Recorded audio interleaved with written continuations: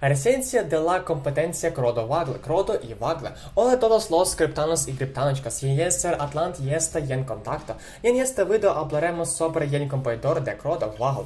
De nuevo tu um, formato favorito. Analicemos las características de um, Waggle a las diferencias con Crodo. Y estamos empezando. A la antigua usanza comencemos con el competidor Crodo y entonces mercados primarios para todos. Waggle permite a los inversores monoristas participar en inversiones en el mercado primario al tiempo que proporciona a los equipos de proyecto liquidez adicional para la continuidad de su inversiones acerca de la red Waggle.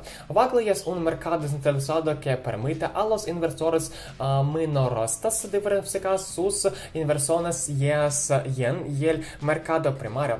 Uh, con nuestro favorito fuertes flujos, flujos uh, de negocios y nuestro riguroso proceso de delecciones de bija, nuestro objetivo es brindar a los inversores monoristas oportunidades seleccionadas para comprar los tokens que tantas uh, no estaban disponibles para ellos.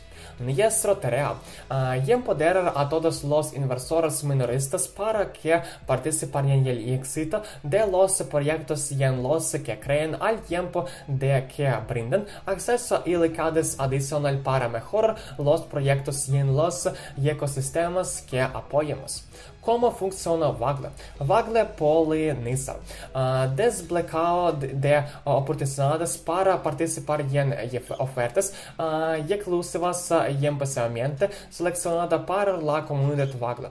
Fără de mâneu, ampliar i aumentar las oportunidades de inversiones para los inversores. Moneo de colmena, replantearna de funcționes para hacer crecer VAC y otros tokens. Utilidades de movimiento, potentan kit de herramientas de simplificado tanto para inversores como para proyectos participación multi следниите нивели. А постарваха до но соло, lo recomplensa con intereses sico que tambien la brinda mas oportunidades para inverter. Comprasas vagle e Crodo. Passemos a nuestro proyecto favorito de Crodo y comenzar con el hecho de que Crodo tiene un sistema de selección de proyectos muy potente para sus IDO.